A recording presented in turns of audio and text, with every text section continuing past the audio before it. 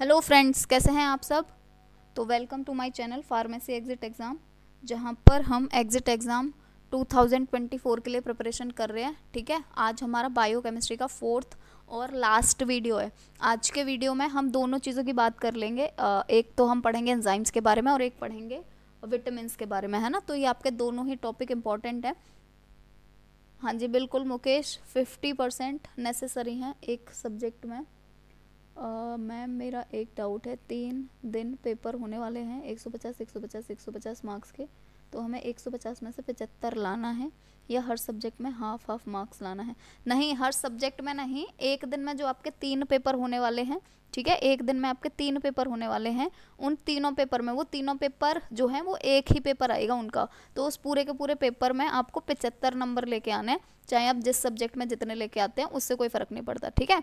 तीन पेपर जो होने वाले हैं आपके तीन दिन, उनमें से अलग अलग आपको पिचहत्तर पिचहत्तर पिचहत्तर नंबर लेकर के आने हैं, ठीक है? फिफ्टी परसेंट एक पेपर में, यानी कि जो आपका एक पेपर होने वाला है, तीन को उसमें पचहत्तर आने चाहिए, चार वाले में पचहत्तर आने चाहिए और पाँच वाले में पचहत्तर आने आने चाहिए, है ना?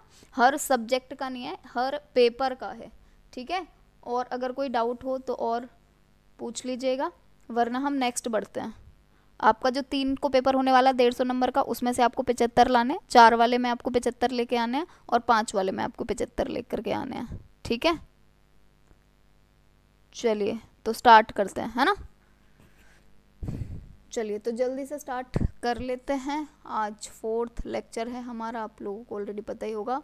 तो अभी हम पढ़ने वाले हैं अपना, जो हमारा एंजाइम्स टॉपिक है। इसको पढ़ेंगे सबसे पहले, ठीक है? अरे भाई, ठीक से लग जा। वो देना ज़रा मेरे को वो दे दो, उससे अच्छे से हो जाएगा।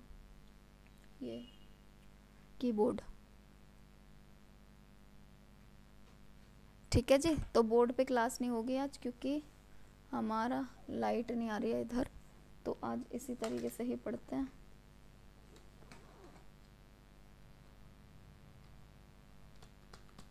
ये भी कभी कभी काम करता है, कभी नहीं करता भी कर नहीं रहा। चलो, कोई ना, ऐसे ही करते हैं। ठीक है? चलिए तो देखो एंजाइम्स के बारे में है आज जो हमारा लेक्चर है।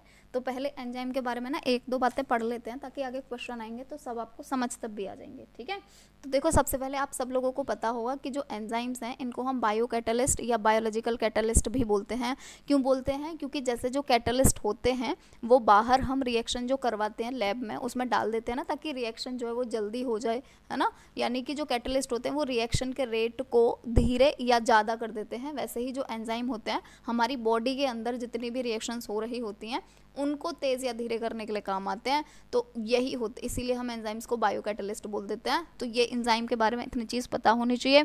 इसके बाद में नेक्स्ट जो चीज़ है वो ये है कि ये कभी भी रिएक्शन में कंज्यूम नहीं होते। यानी ऐसे नहीं होता, जैसे सोचो एंजाइम है, उसने आपका डाइजेशन करवाने में हेल्प करी, है ना? जैसे लाइपेज वगैरह होते हैं तो इन्होंने हेल्प करी डाइजेशन करवाने में। उसके बाद ये ख़त्म नहीं होते। जितना यहाँ पे, जितना भी एंजाइम था, वो वैसा का वैसा पूरा लास्ट में बच जाता है। तो ये कंज्यूम नहीं होते, यानी ख़त्म नहीं होते। नेक्स्ट चीज़ अगर हम बात करें तो ये बहुत ज़्यादा स्पेसिफिक होते हैं। स्पेसिफिक होने का मतलब क्या है? जैसे कि हमारी बॉडी के अंदर, सोचो दस रिएक्शन हो रही है वैसे तो बहुत सारी होती हैं पर अगर मैं एग्जांपल के लिए बताऊँ अगर 10 रिएक्शन हो रही है ना तो दसों रिएक्शन के लिए हमें अलग एंजाइम चाहिए होगा। ऐसा नहीं है कि एक एंजाइम एक से ज़्यादा टाइप के रिएक्शंस को आ, कर दे कंप्लीट ऐसा नहीं होता। स्पेसिफिक होते हैं ये कि एक रिएक्शन के लिए जो एंजाइम रिस्पॉन्सिबल है वो वो उसी रिएक्शन को ही करेगा। ऐसा नहीं है कि वो और भी रिएक्शंस को कर देगा ठीक है? तो स्पेसिफिक होते हैं ये अपने एक्शन में। ये प्रोटीन होते हैं नेचर में, है ना? तो प्रोटीन के बने हुए होते हैं, ये भी बहुत इंपॉर्टेंट बात है है ना? क्योंकि ऐसे वाले क्वेश्चन ये वाला क्वेश्चन बड़ा पूछा जाता है। तो ये प्रोटीन के बने हुए होते हैं, ये चीज़ आपको याद रख लेनी है। और अगर मैं नेक्स्ट इसके बारे में बात करूँ तो जो बहुत इंपॉर्टेंट चीज़ है हमारी, उसको हम बोलेंगे कि जो फंक्शनल यूनिट होती है एंजाइम की उसको हम बोलते हैं होलो एंजाइम, ठीक है? यानी कि जो एंजाइम काम करता है, उसको हम क्या बोलेंगे? होलो एंजाइम बोलेंगे। अब ये जो होलो एंजाइम है ना, ये बेसिकली दो पार्ट से मिलकर के बना हुआ होता है, ठीक है? ये बहुत इंपॉर्टेंट बात है, ये समझिएगा अच्छे से, क्योंकि अगर ये नहीं समझा आपने तो आगे फिर अच्छे से आपको कुछ चीज़ समझ नहीं आने वाली है, ठीक है? चलिए तो होलो एंजाइम जो है, ये बेसिकली दो पार्ट से मिलकर के बनता है। एक को हम बोलते हैं एपो एंजाइम और जो दूसरा होता है, उसको हम बोलते हैं को एंजाइम या फिर को फैक्टर ठीक है? क्या बोलेंगे इसको? को फैक्टर बोलेंगे, ठीक है? को फैक्टर फिर से दो चीज़ों से मिलकर के बना हुआ होता है को एंजाइम और प्रोस्थेटिक ग्रुप ठीक है? अभी इन सब के बारे में समझाऊँगी, मैं चिंता मत करिएगा, एक हो गया प्रोस्थेटिक ग्रुप ठीक है? अब हमें देखो समझना क्या है? ये जो हमारा एपो एंजाइम होता है ना, यही ही बना हुआ होता है मेन प्रोटीन का, ठीक है? ये जो एपो एंजाइम होता है ना, हमारा जो एंजाइम काम करता है, जो उसको रिएक्शन इधर उधर करनी है, जो भी काम करना है, वो मेन काम जो करता है ना, वो ये एपो एंजाइम ही करता है, जो कि प्रोटीन का बना हुआ होता है, ठीक है? लेकिन ये एपो एंजाइम इनएक्टिव होता है, यानी कि ये अब निष्क्रिय होता है। ये सक्रिय कब होगा? तो ये सक्रिय तब होता है जब इससे आकर के कोफैक्टर बाइंड हो जाता है और अभी आपको पता चल गया होगा कि कोफैक्टर और एपो एंजाइम जब दोनों आपस में बाइंड हो जाते हैं, जैसे समझो ये हमारा एपो एंजाइम है और ये हमारा कोफैक्टर है, ठीक है? तो ये कोएंजाइम है, ये एपो एंजाइम है, ये एपो एंजाइम अभी किसी काम का नहीं है है ना? ये हमारा एपो एंजाइम है, ये एपो एंजाइम अभी किसी काम का नहीं है, ये कोई काम नहीं कर सकता। ये काम करना कब स्टार्ट करेगा? जब ये कोफैक्टर आकर के इससे बाइंड हो जाएगा, यानी कि ये ऐसे आकर के इससे बाइंड हो जाएगा। तो अब जब एपो एंजाइम से कोफैक्टर या इसको कोएंजाइम भी बोल देते हैं, जैसे मैं नीचे बोल रही थी तो आपको ये याद रखना है दोनों चीज़ें। वहाँ पे कोफैक्टर भी लिखा हुआ हो सकता है, कोएंजाइम भी। तो जब इससे कोफैक्टर या कोएंजाइम आकर के बाइंड हो जाएगा ना, तब ये एक्टिव होगा और तब ये अपना काम करेगा। और जब ये दोनों एक साथ होते हैं तो इसी चीज़ को ही हम क्या बोलते हैं होलो एंजाइम बोलते हैं। इसीलिए मैं स्टार्टिंग में बोल रही थी, जो फंक्शनल यूनिट है, यानी जो काम करेगी, उसको क्या बोलेंगे होलो एंजाइम बोलेंगे। यानी कि ये दोनों चीज़ें आपस में बाइंड होनी चाहिए, तब जा के काम होगा, ठीक है? तो एपो एंजाइम हमारा मेन पार्ट होता है, जो कि प्रोटीन का बना हुआ होता है। बाकी जो कोफैक्टर हमारा पार्ट होता है, वो नॉन प्रोटीन पार्ट होता है। यानी कि ये प्रोटीन का नहीं बना हुआ होता है ये ऑर्गेनिक और इनऑर्गेनिक मैटर का बना हुआ होता है, जिसमें से कोएंजाइम ऑर्गेनिक और प्रोस्थेटिक ग्रुप इनऑर्गेनिक होता है। उतना डिटेल में भी मत जाइए, आप बस इतनी चीज़ याद रखिए कि जो हमारा कोफैक्टर या को है, वो हमारा प्रोटीन का नहीं बना हुआ होता है यानी नॉन प्रोटीन पार्ट होता है, और जो एपो होता है, वो प्रोटीन का बना हुआ होता है। ठीक है? यही हमारा अगर पूछा जाए, ऐसे करके क्वेश्चन आ जाए कि मेन इनमें से कौन सा है जो काम करेगा एपो होता है, कोफैक्टर होता है या कोएंजाइम होता है। आपको क्या करना है? एपो क्योंकि मेन काम जो करता है ना वो यही होता है। लेकिन ये इनएक्टिव होता है। एक्टिव करने के लिए कोफैक्टर को या कोएंजाइम को इससे बाइंड होना पड़ता है। तब जा करके ये होलो एंजाइम बनता है और अपना काम करता है। ठीक है? आई होप इतनी चीज़ आपको समझ आ गई होगी। अच्छे से अगर इसमें कोई भी कन्फ्यूज़न है तो दोबारा से पूछ लीजिएगा। ठीक है? चलिए।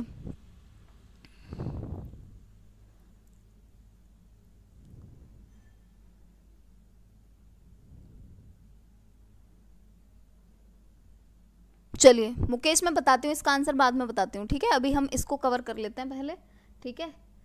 चलिए ठीक तो ये इतनी चीज़ आपको हो गई होगी क्लियर अभी हम नेक्स्ट चीज़ पे बढ़ते हैं। ये चीज़ आपको अच्छे से बहुत क्लियर हो गई होगी, ठीक है? अब देखो, यहाँ पर अगर हम एक और चीज़ के बारे में पढ़ते हैं ना तो एक और चीज़ हमारी आ जाती है कि जो एंजाइम्स होते हैं, वो कितने तरीके के होते हैं, यानी एंजाइम्स का क्लासिफिकेशन क्या होता है, ठीक है? अब क्लासिफिकेशन पे हम आएँगे तो हमको क्या याद रखना है? ओथलिल याद रखना है, ठीक है? वैसे याद भी रखने वाली चीज़ नहीं है, इनका नाम पढ़ लेना तो आसानी से हो भी जाएगा आपको। क्या याद रखना है? ओथ लिल, ठीक है? ये हमारे मेन एंजाइम होते हैं। ओ का मतलब क्या होता है? ओ का मतलब होता है ऑक्सीडो रिडक्टेज ठीक? ऑक्सीडो रिडक्टेज ऑक्सीडो रिडक्टेज का मतलब क्या है? ऑक्सी का मतलब ऑक्सीडेशन और रिडक्टेज का मतलब रिडक्शन ठीक है? तो जो भी हमारा ऑक्सीडो रिडक्सेज एंजाइम होता है, ये क्या करता है? बेसिकली ऑक्सीडेशन और रिडक्शन जो भी रिएक्शंस होती हैं, उनमें इन्वॉल्व होता है ऑक्सीडो रिडक्सेज अगर हम सेकेंड एंजाइम की बात करें तो टी फॉर हो जाएगा ट्रांसफरेज ठीक है? ट्रांसफरेज से ही आपको समझ आ रहा होगा कि यानी कि ये क्या करेगा? कोई भी फंक्शनल ग्रुप को ट्रांसफ़र करता है, ठीक है? क्या करता है? फंक्शनल ग्रुप को ट्रांसफ़र करेगा इधर से उधर। ठीक नेक्स्ट अगर हम आ जाते हैं तो नेक्स्ट आ जाता है हमारा हाइड्रोलाइज हाइड्रोलाइज ठीक है?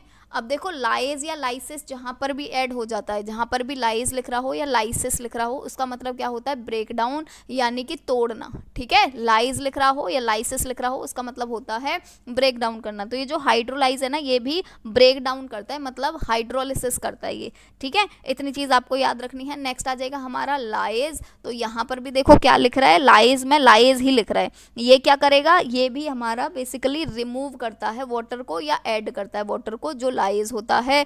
नेक्स्ट एंजाइम की अगर बात करें तो नेक्स्ट होता है हमारा आई फॉर आइसोमरेज आइसोमरेज जो है वो आइसोमर जो होते हैं या आइसोमेरिज्म जो होती है, जैसे एक आइसोमर से दूसरा आइसोमर बनना तो उन वाली रिएक्शंस में हमारा आइसोमरेज जो होता है, ये इन्वॉल्व होता है।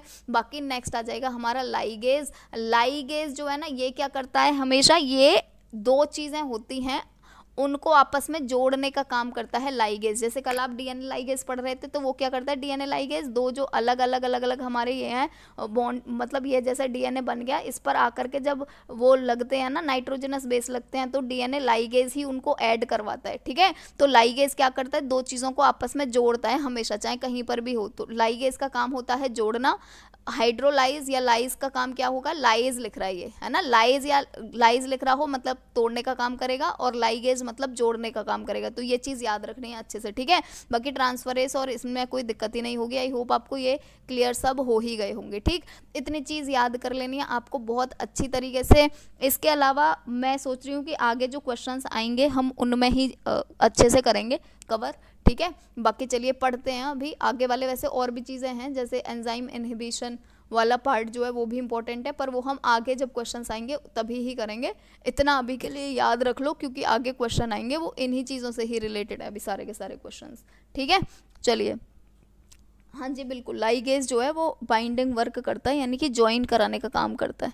ठीक? चलिए तो देखो, पहला क्वेश्चन है एंजाइम जो है वो सब्सटेंस होता है, ऐसा सब्सटेंस है जो कि क्या करता है? हाइड्रोलिस हाइड्रोलाइज करता है या डीहाइड्रेट करता है या कैटलिस्ट की तरह काम करता है या हीट को एनर्जी में कन्वर्ट करता है? तो सबसे बेस्ट जो डेफिनेशन है यहाँ एंजाइम की वो क्या है? कि ये एक्ट करता है कैटलिस्ट की तरह। यहाँ पे क्या लिखा हुआ हो सकता है? और कि ये एक बायो कैटलिस्ट होता है या और क्या लिखा हुआ हो सकता है? बायोलॉजिकल कैटलिस्ट होता है, सबका मतलब एक ही है, ठीक है? तो सी ऑप्शन करेक्ट हो जाएगा।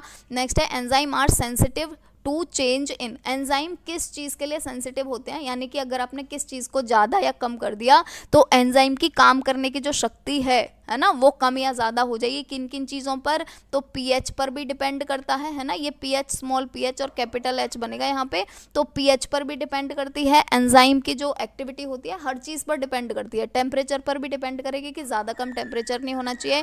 और जो सबस्ट्रेट का कॉन्सेंट्रेशन है, अब सबस्ट्रेट क्या होता है? जैसे देखो, यहाँ पर ये एक सबस्ट्रेट है है ना?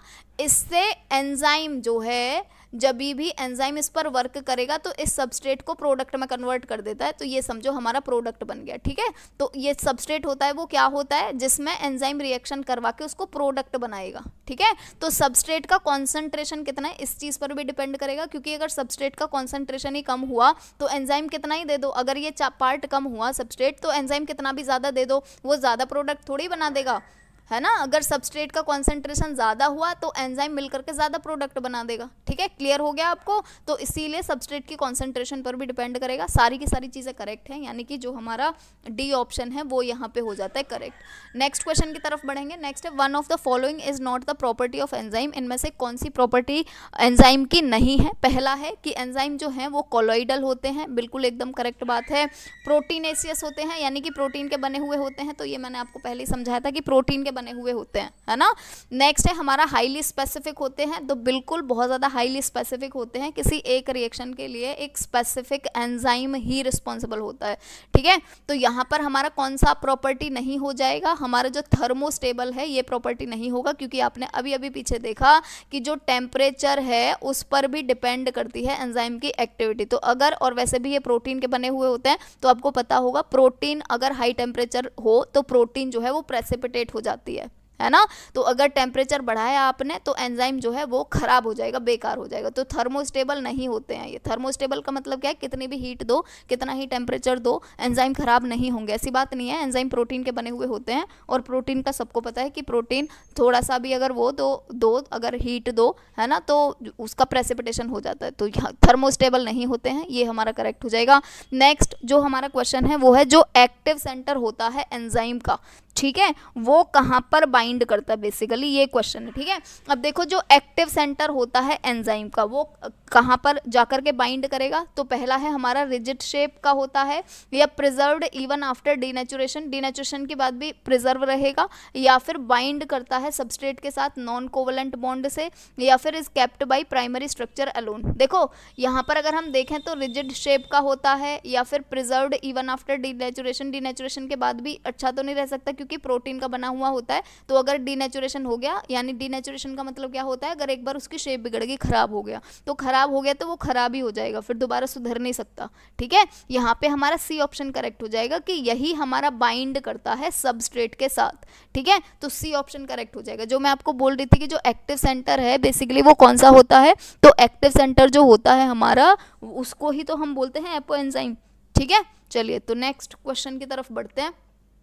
नेक्स्ट जो क्वेश्चन है वो है which of the following factor does not affect enzyme activity यानी कि एंजाइम की एक्टिविटी को इनमें से कौन सा फैक्टर अफेक्ट नहीं करेगा या उसका कोई प्रभाव नहीं पड़ेगा? तो पहला हमारा जो ऑप्शन है, वो है यहाँ पर वाटर एक्टिविटी दूसरा है प्रोडक्ट का नेचर थर्ड है एंजाइम का कॉन्सेंट्रेशन फोर्थ है सबस्ट्रेट का कॉन्सेंट्रेशन देखो कॉन्सेंट्रेशन तो एंजाइम का भी सबस्ट्रेट का भी दोनों ही अफेक्ट करेंगे। जैसे मैंने अभी आपको थोड़ी देर पहले समझाया था कि सबस्ट्रेट का कॉन्सेंट्रेशन अगर ज़्यादा रखोगे तो प्रोडक्ट भी ज़्यादा बनेगा। एंजाइम का कॉन्सेंट्रेशन ज़्यादा रखोगे तो भी जल्दी रिएक्शन होगी और प्रोडक्ट भी ज़्यादा बनेगा। वाटर की जो एक्टिविटी है, वो भी अफेक्ट करेगी, क्योंकि बहुत सारे एंजाइम ऐसे होते हैं जो कि बेसिकली हाइड्रोलिसिस करते हैं। तो वहाँ पर अगर वाटर प्रेजेंट होगा तो जल्दी से रिएक्शन हो जाएगी। जो प्रोडक्ट का नेचर है प्रोडक्ट क्या है? जैसे ये हमारा सबस्ट्रेट है और ये हमारा एंजाइम है, ठीक है? ये यहाँ पे रिएक्शन हो गई और ये हमारा प्रोडक्ट बन गया, जो भी प्रोडक्ट बना समझो। ये हमारा प्रोडक्ट बन गया, ठीक है? तो जो भी चीज़ है, एंजाइम की जो एक्टिविटी है, उसको प्रोडक्ट थोड़ी ना, प्रोडक्ट तो बाद में बन गया तो ये कैसे अफेक्ट करेगा? ये थोड़ी ना कोई प्रभाव डाल सकता है। एंजाइम की जो एक्टिविटी है, यानी कि वो कितनी देर काम करेगा, क्या, कितनी देर नहीं करेगा, वो सारी की सारी चीज़ें तो यहाँ पर जितनी भी चीज़ें हैं, यही तो इन्हीं पर ही तो डिपेंड करेगा या यही तो उस पर प्रभाव डाल सकते हैं है ना? यहाँ पर आपने टेम्परेचर कितना दिया यहाँ पर आपने पीएच कितना दिया यहाँ पर कि, कि, कितनी चीज़ है इसकी सबस्ट्रेट की कितनी कॉन्सेंट्रेशन है यहाँ पर एंजाइम की कितनी कॉन्सेंट्रेशन है तो इतनी जगह में जितनी भी चीज़ें दी जा रही हैं यहाँ पे वाटर कितना प्रेजेंट है यहाँ पे कार्बन डाइऑक्साइड कितना प्रेजेंट है क्योंकि बहुत सारे एंजाइम होते हैं जो गैसेस भी मांगते हैं अपने काम करने के लिए ठीक है? तो यहाँ पर कितनी चीज़ें प्रेजेंट हैं सारी की सारी यहाँ पर डिपेंड करेगा। एक बार प्रोडक्ट बन गया उसका तो कोई फ़र्क पड़ेगा ही नहीं ठीक है? तो प्रोडक्ट का नेचर क्या है, इस चीज़ का कोई फ़र्क नहीं पड़ेगा एंजाइम की एक्टिविटी के ऊपर। नेक्स्ट है the enzyme with its cofactor is known as यानी कि अगर को फैक्टर को मिला दो एंजाइम के साथ तो उसको हम क्या बोलते हैं? तो उसको हम क्या बोलते हैं? होलो एंजाइम जैसे मैंने आपको बताया था कि होलो एंजाइम जो है, यही मेन चीज़ है, यही हमारा एंजाइम है, पर ये दो चीज़ों से मिलकर के बना हुआ होता है। कौन कौन सी दो चीज़ें होती हैं? तो एक होता है एम्पो एपो एंजाइम जो कि मेन एंजाइम है, जो कि प्रोटीन का बना हुआ है, ठीक है? दूसरी जो चीज़ है, वो हमारी होती है कोफैक्टर इसको यहाँ पे कोएंजाइम भी लिखा हुआ हो सकता है। जो मैं आपको मैंने ऊपर समझाया अभी तक, क्यों हो सकता है को कोएंजाइम लिखा हुआ, ठीक है? तो जो यहाँ पे यही ही पूछा है कि कोफैक्टर के साथ में जो एंजाइम मिल जाता है, तब हम उसको क्या बोलते हैं? जो एंजाइम मिल जाता है, का मतलब क्या है? जो एपो एंजाइम जब मिल जाता है तो इसको हम क्या बोलते हैं? इसको बोलते हैं हम होलो एंजाइम ठीक है? ये चीज़ याद रखिएगा। ये इसीलिए मैंने स्टार्टिंग में समझाई थी, क्योंकि मेन चीज़ यहीं से ही स्टार्ट होती है एंजाइम की, ये आपको बिल्कुल एकदम क्रिस्टल क्लियर होना चाहिए कॉन्सेप्ट ठीक? चलिए नेक्स्ट क्वेश्चन की तरफ़ बढ़ेंगे तो नेक्स्ट हमारा क्वेश्चन है जो एक्टिव साइट होती है कॉन्जुगेटेड एंजाइम की, वो किससे बनती है? एक्टिव साइट जो होती है, ठीक है? तो एक्टिव साइट का मतलब क्या है? जहाँ पर बेसिकली जहाँ पर सबस्ट्रेट आकर के बाइंड करेगा और जहाँ से हमें हमारी जो रिएक्शन है, वो मतलब प्रोसीड होगी, आगे बढ़ेगी, ठीक है? तो एक एंजाइम के एक्टिव साइट के लिए हमें दोनों चीज़ें चाहिए एपो एंजाइम भी चाहिए और कोफैक्टर भी चाहिए, दोनों चीज़ें चाहिए, यानी कि डी ऑप्शन जो है वो हमारा करेक्ट होगा, है ना? क्योंकि देखो एपो एंजाइम ही है मेन जो रिएक्शन करवाएगा। लेकिन एपो एंजाइम से कोफैक्टर या को एंजाइम बाइंड होना चाहिए, तब जाकर के एपो एंजाइम काम का होता है। वरना तो ये इनएक्टिव पड़ा रहता है। किसी काम का ही नहीं होता। कोफैक्टर जब आके बाइंड होगा एपो एंजाइम से, तब एपो एंजाइम एक्टिव होता है, जिसको हम होलो एंजाइम बोल देते हैं। ठीक? चलिए नेक्स्ट क्वेश्चन की तरफ़ बढ़ेंगे। Protein portion of the holoenzyme is protein portion जो होता है होलो एंजाइम का, उसको क्या बोलते हैं? तो अभी मैंने थोड़ी देर पहले ही आपको बताया कि प्रोटीन वाला पोर्शन जो है, वो एपो एंजाइम होता है नॉन प्रोटीन कोफैक्टर होता है। कोफैक्टर के दो पार्ट होते हैं, एक कोएंजाइम होता है, एक प्रोस्थेटिक ग्रुप होता है। ठीक है? कोफैक्टर जो है, ये नॉन प्रोटीन है, यानी कि कोएंजाइम हो, चाहे कोफैक्टर हो, चाहे प्रोस्थेटिक ग्रुप हो, ये तीनों नॉन प्रोटीन पार्ट है। प्रोटीन के नहीं बने हुए होते हैं। प्रोटीन वाला पोर्शन कौन सा है? एपो एंजाइम मेन पोर्शन कौन सा है? एपो एंजाइम जो काम करेगा। ठीक है? चलिए, नेक्स्ट क्वेश्चन की तरफ़ बढ़ेंगे। तो नेक्स्ट जो हमारा क्वेश्चन है ये है which of the following term best describe a cofactor that is formally bound to a enzyme cofactor जो कि एपो एंजाइम से बाइंड होता है, ठीक है? तो अभी आपको समझ आ गया होलो एंजाइम दो तरीके होलो एंजाइम दो चीज़ों से बना हुआ है एपो एंजाइम को फैक्टर से ठीक है? वही वाला कॉन्सेप्ट अपने दिमाग में लेके रखो, फिर सारी चीज़ें ठीक हो जाएँगी, ठीक है? Which of the following term best describe a cofactor that is formally bound to a apoenzyme इसको कौन बेस्ट डिस्क्राइब कर सकता है? प्रोस्थेटिक ग्रुप ठीक है? क्योंकि प्रोस्थेटिक ग्रुप हम किसको बोलते हैं? देखो प्रोस्थेटिक ग्रुप हम किसको बोलेंगे? उसको बोलते हैं जो हमारा सबस्ट्रेट के साथ बाइंड करता है। जैसे सपोज़ करो, अगर मैं यहाँ पे स्ट्रक्चर बनाऊँ, ये हमारा सबस्ट्रेट है ठीक है? ये हमारा सबस्ट्रेट है। अब यहाँ पर जो हमारा एपो एंजाइम है, वो सपोज़ करो एपो एंजाइम है ना, इस तरीके का बना हुआ है। ठीक है? अभी ये क्या है? इनएक्टिव फॉर्म में।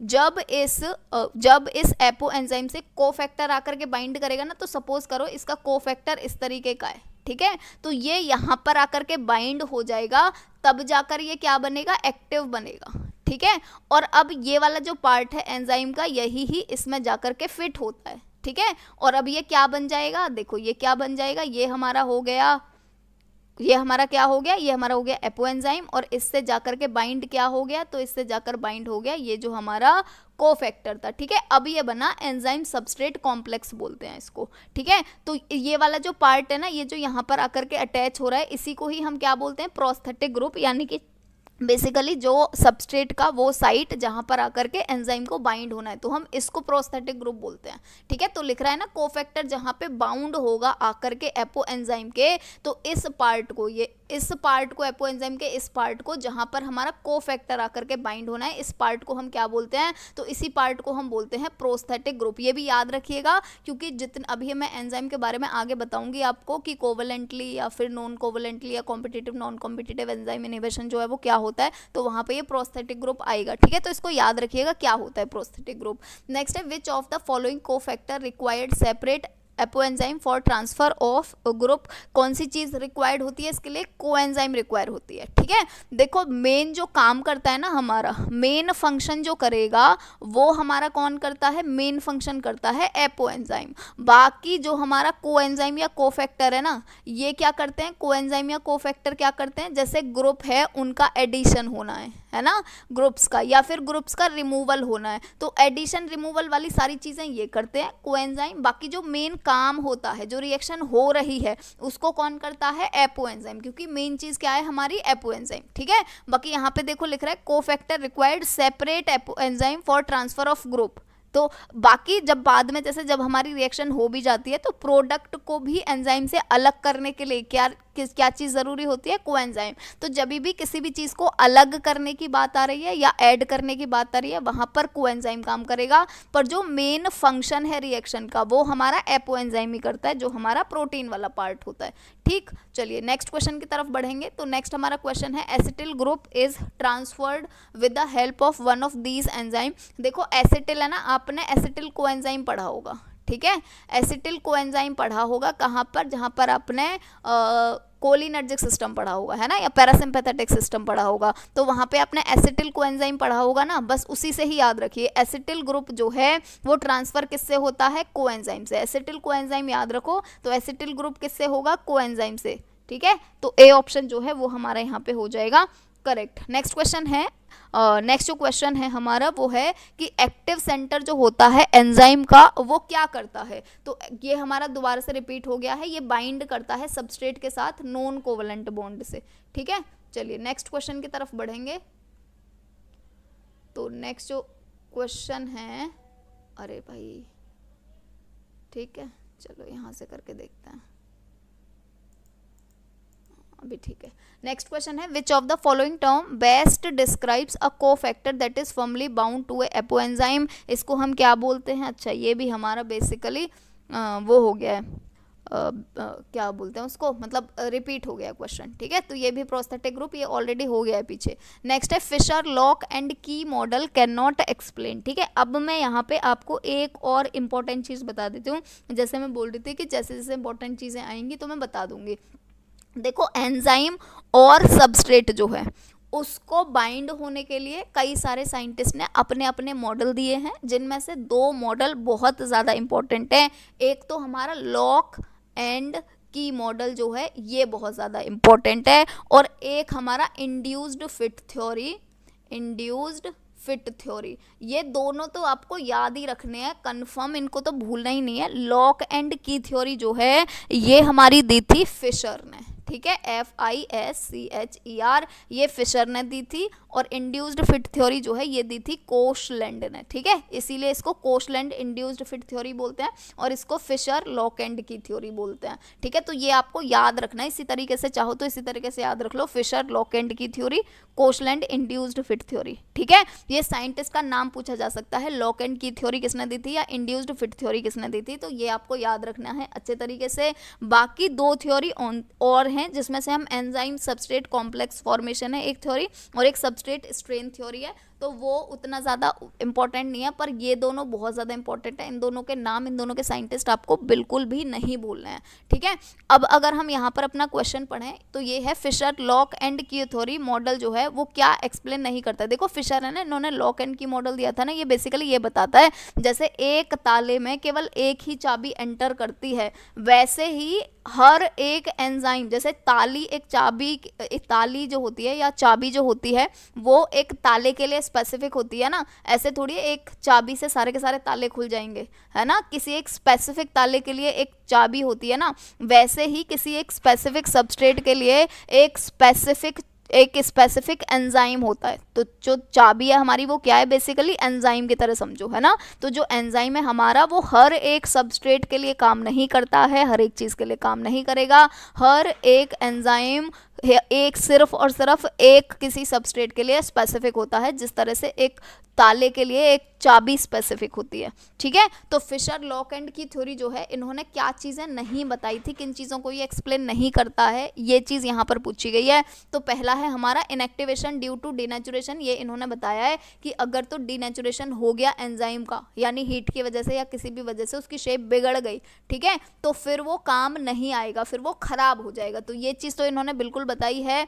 बाकी नेक्स्ट कॉम्पिटेटिव इनहिबिशन के बारे में इन्होंने बिल्कुल बताया है कि कॉम्पिटेटिव इनहिबिशन देखो बेसिकली क्या होता है? जैसे यहाँ पर ये हमारा सबस्ट्रेट है और ये इसकी साइट है है ना? तो यहाँ पर ही आकर के एंजाइम को बाइंड होना है। जैसे समझो ये एंजाइम है जो मैं अभी पीछे आपको बता रही थी तो एंजाइम को आकर यहाँ पर बाइंड होना है ना? पर कभी कभी क्या होता है? इनहिबिशन का मतलब क्या होता है? इस एंजाइम को यहाँ पर आके बाइंड ना होने देना या इसका काम पूरा ना होने देना। तो हम जो कॉम्पिटेटिव इनहिबिशन बोलते हैं ना, वो हम किसको बोलते हैं? कॉम्पिटेटिव मतलब कॉम्पिटिशन होगा यहाँ पे, है ना? तो यहाँ पर एक कोई हम ड्रग ऐसे करके प्रोवाइड कर देंगे, ये ड्रग यहाँ पर आकर बाइंड हो जाएगी। अब ये यहाँ पर आकर बाइंड हो गई तो एंजाइम इससे बाइंड ही नहीं हो पाएगा। तो एक तरीके का ये होता है हमारा कॉम्पिटेटिव इनहिबिशन जो नॉन कॉम्पिटेटिव इनहिबिशन होता है, वो क्या होता है? जैसे सपोज़ करो ये सबस्ट्रेट है, यहाँ पर एक और एक और साइट है, ऐसे करके बनी हुई है और यहाँ पर हमने इस तरह की एक कोई ड्रग दी है। ये ड्रग यहाँ पर आकर बाइंड हो जाएगी, इसको हम एलोस्टेरिक साइट बोलते हैं, ठीक है? तो यहाँ पर आकर के बाइंड हो जाएगी मेन साइट से बाइंड नहीं हुई। तो इस वाली ड्रग का एंजाइम के साथ कोई कॉम्पिटिशन नहीं है, क्योंकि एंजाइम को तो यहाँ आके बाइंड होना है, जबकि इस ड्रग को यहाँ आके बाइंड होना है, ठीक है? तो कोई कॉम्पिटिशन ही नहीं है। इसको हम बोलते हैं नॉन कॉम्पिटेटिव इनहिबिशन पर जब ये यहाँ पर आकर बाइंड हो जाएगा तो एंजाइम अपना काम नहीं कर पाएगा, या ये बाइंड नहीं हो पाता। इसीलिए इनहिबिशन बोल रहे हैं, लेकिन क्योंकि कॉम्पिटिशन नहीं है, एक साइट नहीं है, दोनों की अलग अलग साइट है, दोनों की अलग अलग तो इसीलिए हम इसको क्या बोलते हैं? नॉन कॉम्पिटेटिव बोलते हैं। कॉम्पिटेटिव किसको बोलेंगे? जैसे मैं अभी इसका बता रही थी कि ये भी यहीं पे आके बाइंड होना एंजाइम भी यहीं आके बाइंड होना है, दोनों का कॉम्पिटिशन होगा सेम साइट पर बाइंड होने के लिए। ठीक है? तो इन्होंने जो कॉम्पिटेटिव इनहिबिशन है, इसके बारे में भी बहुत अच्छे से समझाया है। ये वाला जो हमारा ड्रग और एंजाइम एक ही साइड पे आकर के बाइंड होने हैं और बाकी इन्होंने सेचुरेशन काइनेटिक जो है, ये भी बताई है कि एक टाइम पर आकर ऐसे होता है। सेचुरेशन काइनेटिक का मतलब क्या है? एक टाइम पर आकर के ऐसे होता है कि कितना ही एंजाइम दे दो, कितना ही सबस्ट्रेट दे दो रिएक्शन जो है वो आगे नहीं बढ़ती है। उसको हम सेचुरेशन काइनेटिक बोलते हैं। तो इसके बारे में भी इन्होंने बताया है। बाकी इन्होंने जो एलोस्टेरिक मॉड्यूलेशन होता है, इसके बारे में इन्होंने नहीं समझाया है। ठीक है? चलिए तो नेक्स्ट क्वेश्चन की तरफ़ बढ़ेंगे। नेक्स्ट जो क्वेश्चन है वो है इंड्यूस्ड फिट थ्योरी जो है वो किसने दी थी? तो जैसे मैंने बताया था, दोनों के दोनों साइंटिस्टों के नाम आपको बहुत अच्छे से याद रखने हैं तो ये दी थी कोशलैंड ने। बी ऑप्शन हमारा यहाँ करेक्ट हो जाएगा। नेक्स्ट है, इन नॉन कॉम्पिटिटिव इनहिबिशन यानी नॉन कॉम्पिटिटिव इनहिबिशन में बेसिकली होता क्या है? ठीक है तो अब मैं यहाँ पर जो मैं आपको बता रही थी कि कुछ इंपॉर्टेंट चीज़ें हैं, वो मैं आपको अब यहाँ पर समझा देती हूँ, ताकि आपको थोड़ी सी समझ आ जाए चीज़ें, है ना? क्योंकि यहाँ पर ये चीज़ हमारी थोड़ी सी इंपॉर्टेंट हो जाती है, ठीक है? अब देखो, अगर हम एंजाइम इनहिबिशन की बात करें एंजाइम इनहिबिशन जो मैं अभी आपको पीछे थोड़ा समझा रही थी, ठीक है? एंजाइम इनहिबिशन की बात करें तो जो हमारा एंजाइम इनहिबिशन होता है, वो बेसिकली हमारा तीन तरीके का होता है, ठीक है? पर दो तरीके ही बताऊँगी मैं यहाँ पे, क्योंकि तीसरा इतना इंपॉर्टेंट नहीं है।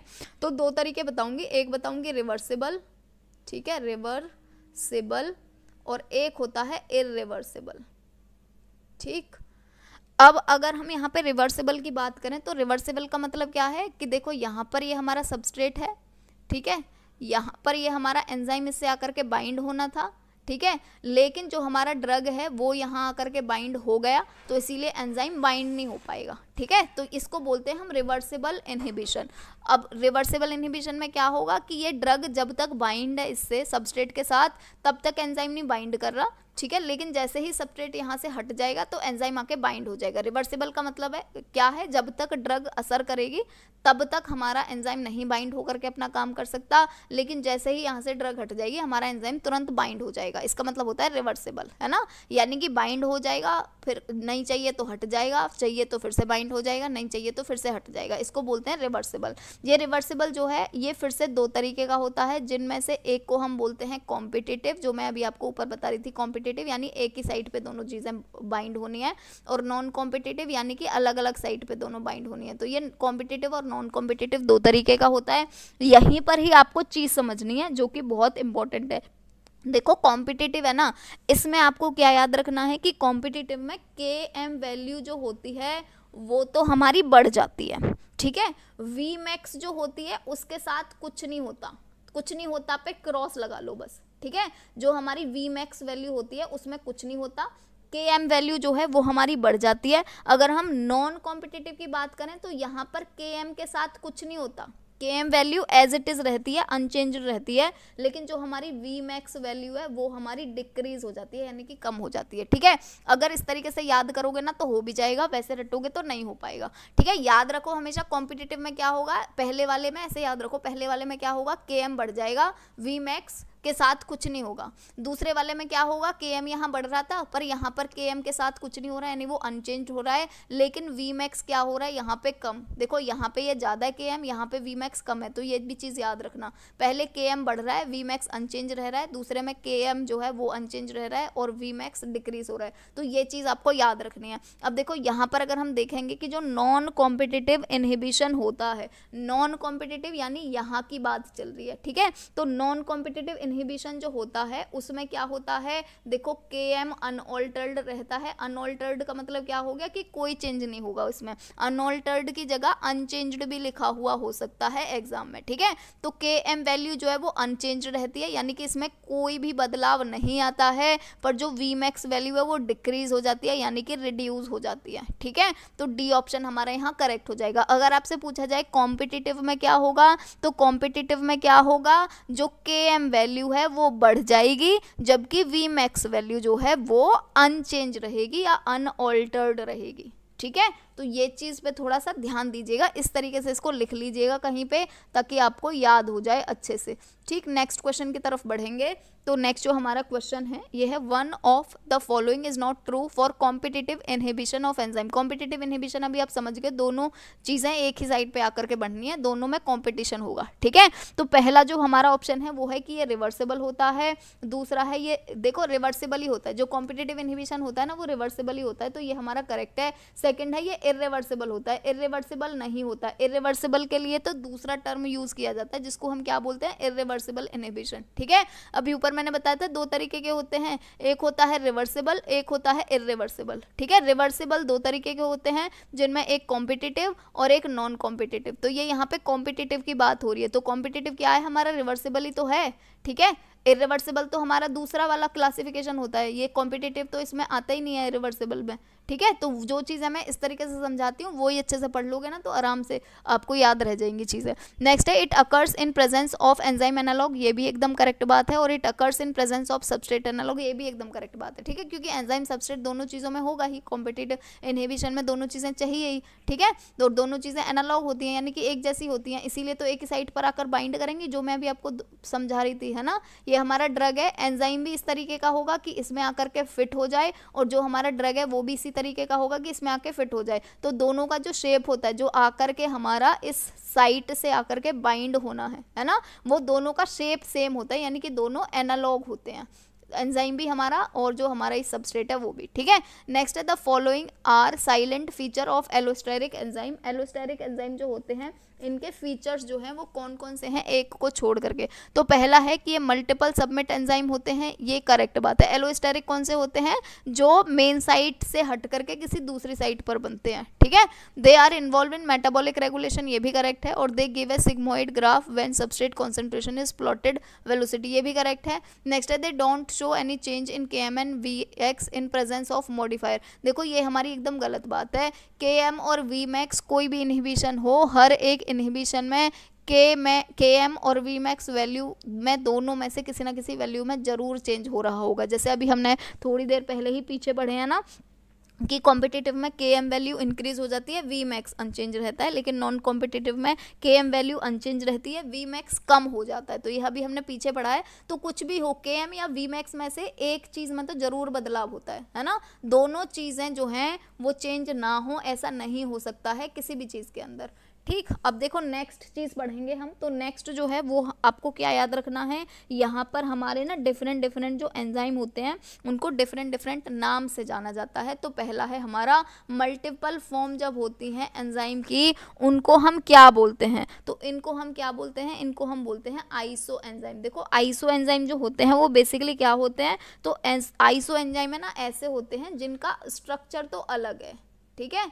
स्ट्रक्चर तो अलग है मतलब डिफरेंट है स्ट्रक्चर ठीक है? डिफरेंट या अलग कुछ भी लिख सकते हो। तो इनका स्ट्रक्चर तो डिफरेंट होता है, लेकिन फ़ंक्शन जो होता है, यानी काम जो होता है, वो दोनों का सेम होता है। जैसे दो एंजाइम है, उनका स्ट्रक्चर अलग है, लेकिन उनका फ़ंक्शन सेम है। उनको हम आइसो एंजाइम बोलते हैं, इसीलिए बोला है मल्टीपल फॉर्म जो होती हैं सेम एंजाइम की, उसको हम क्या बोलेंगे?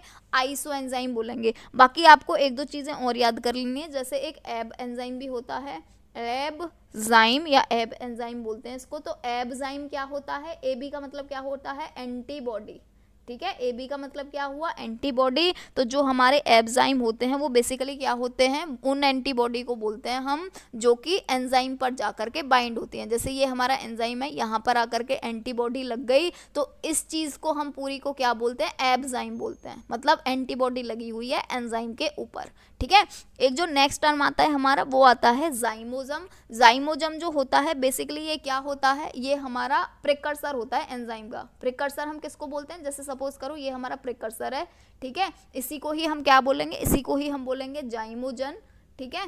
और जब ये वाला जो प्रिकर्सर है हमारा, जब इस पर कोफैक्टर लग जाता है या ये एक्टिव फॉर्म बन जाता है एंजाइम का। तब इसको हम एंजाइम बोल देते हैं। तो एंजाइम का जो प्रिकर्सर होता है, यानी कि जिससे एंजाइम बनने वाला है, इस प्रिकर्सर को हम बोलते हैं जाइमोजन, ठीक है? तो जाइमोजन जो होते हैं, ये क्या होते हैं? प्रिकर्सर होते हैं एंजाइम के, और ये इनएक्टिव भी होते हैं। मतलब ये काम नहीं कर सकते जब तक ये एंजाइम में कन्वर्ट ना हो जाए। ठीक नेक्स्ट है the enzyme cytochrome oxidase belong to category of किसको बिलोंग करता है ये? तो साइटोक्रोम ऑक्सीडेज देखो ऑक्सीडेज लिख रहा है यहाँ पर तो किसको बिलोंग करेगा ये? किस, आराम से आंसर लगा सकते हैं ऑक्सीडो रिडक्टेज को। ठीक है? चाहे यहाँ पर रिडक्टेज लिख रहा हो, चाहे यहाँ पर ऑक्सीडेज लिख रहा हो, दोनों ही एंजाइम ऑक्सीडो रिडक्टेज कैटेगरी को बिलोंग करेंगे। नेक्स्ट है ऑक्सीडो रिडक्टेज जो है एंजाइम ये क्या करते हैं? तो ये देखो क्या करते हैं, या तो ऑक्सीडेशन कर देंगे। ऑक्सीडो रिडक्टेज इसीलिए तो बोल रहे हैं ऑक्सीडो मतलब ऑक्सीडेशन कर सकते हैं, और रिडक्टेज मतलब रिडक्शन भी कर सकते हैं। ये मैं आपको ऊपर ही बता रही थी तो ए ऑप्शन हमारा हो जाता है, यहाँ पर करेक्ट ठीक? चलिए नेक्स्ट क्वेश्चन की तरफ़ बढ़ेंगे। तो नेक्स्ट क्वेश्चन है the group of enzyme which can hydrolyze ester ether peptide और glycosidic bond by adding water and then breaking the bond is इसको हम क्या बोलते हैं? तो देखो यहाँ पे सीधा लिख रहा है कि ये हाइड्रोलाइज कर सकते हैं एस्टर को ईथर को या पेप्टाइड को। हाइड्रोलाइज करने का मतलब क्या हुआ? कि इन सारे के सारे बॉन्ड्स को वाटर की हेल्प से तोड़ सकते हैं। तो इसको हम क्या बोलेंगे? ये मैंने आपको ऊपर ही समझाया था हाइड्रोलेज बोलते हैं या हाइड्रोलाइज ठीक है? हाइड्रोलेज या हाइड्रोलाइज भी लिखा हुआ हो सकता है, ऐसे L Y A S C दोनों का मतलब एक ही है, ठीक है? तो इनको हम क्या बोलते हैं? हाइड्रोलाइज बोलते हैं, यानी कि वाटर की हेल्प से किसी भी चीज़ का ब्रेक डाउन कर देते हैं, जैसे कि एस्टर का ईथर का या पेप्टाइड बॉन्ड का या ग्लाइकोसिडिक बॉन्ड का, इन सब का ब्रेक डाउन कर देते हैं with the help of water hydro मतलब वाटर ठीक? नेक्स्ट है the enzyme which can add water carbon carbon double bond पे वाटर ऐड कर सकता है या वाटर को रिमूव कर सकता है। तो इनको हम क्या बोलते हैं? वही मैंने अभी आपको बताया था। क्या बोलेंगे इनको? हाइड्रोलाइज बोलेंगे। तो क्या हो जाएगा? हमारा करेक्ट आंसर यहाँ पे बी ऑप्शन जो है वो हो जाएगा हमारा यहाँ पे सॉरी ए ऑप्शन जो है वो हो जाएगा हमारा यहाँ पे करेक्ट ठीक है? हाइड्रोलेज बोलेंगे इनको। तो ए ऑप्शन जो है वो हमारा हो जाएगा यहाँ पे करेक्ट आंसर ठीक? नेक्स्ट क्वेश्चन की तरफ़ बढ़ेंगे। तो नेक्स्ट जो क्वेश्चन है वो है the active proteolytic enzyme in gastric juice gastric juice में जो एक्टिव प्रोटियोलाइटिक एंजाइम होता है, यानी जो प्रोटीन का डिग्रेडेशन कर देता है, उसको क्या बोलते हैं? तो प्रोटीन का जो डाइजेशन करता है, वो एंजाइम हमारा पेप्सिन होता है, ये सबको पता होगा, ठीक है? नेक्स्ट है an enzyme that work in acidic medium acidic medium में कौन सा काम करता है? पेप्सिन ही काम करता है। इसीलिए तो देखो गैस्ट्रिक जूस में प्रेजेंट होता है ये। गैस्ट्रिक जूस जो होता है, ये क्या होता है? एचसीएल होता है हाइड्रोक्लोरिक एसिड होता है, हमारे स्टमक में सबको पता होगा, है ना? जिसका पीएच जो होता है 1.5 से 3.5 होता है, हमारे गैस्ट्रिक जूस में। यानी हमारा जो स्टमक होता है, उसमें जो जूस भरा हुआ होता है, वो बेसिकली एचसीएल का बना हुआ होता है हाइड्रोक्लोरिक एसिड का, और इतना पीएच होता है, यानी कि एसिडिक मीडियम होता है। तो यहाँ पर है ना, देखो, जो भी हमारा कार्बोहाइड्रेट का डिग्रेडेशन करने के लिए जो एंजाइम होते हैं ना, जैसे टाइलिन हो गया, ये है ना, या फिर एक और होता है, मुझे नाम नहीं आता रहा उसका तो वो हो गए कार्बोहाइड्रेट को जो डाइजेशन करने वाले जो एंजाइम होते हैं, वो हमारे कभी भी स्टमक में नहीं प्रेजेंट होते। इवन हमारे सलाइवा तक में प्रेजेंट होते हैं। टाइलिन हमारे सलाइवा में होता है है ना? तो हमारे सलाइवा में यानी हमारे मुँह में प्रेजेंट होंगे, लेकिन हमारे पेट में नहीं होते हैं, उसके बाद वो हमारे इंटेस्टाइन में होंगे। ठीक है, जो कार्बोहाइड्रेट का डाइजेशन करते हैं, पर जो प्रोटीन का डाइजेशन करते हैं ना, ये हमारे एसिड में ही प्रेजेंट होते हैं, क्योंकि जो पेप्सिन एंजाइम होता है, जो प्रोटीन का डिग्रेडेशन करता है, ये हमारा बेस्ट काम करता है एसिडिक मीडियम में। तो एसिडिक मीडियम कहाँ मिलेगा? स्टमक में मिलेगा। इंटेस्टाइन में तो बेसिक होता है इंटेस्टाइन में तो होता नहीं है एसिडिक ठीक है? तो इसीलिए जो पेप्सिन है ना, वो हमेशा और हमेशा हमारा गैस्ट्रिक जूस में ही मिलेगा।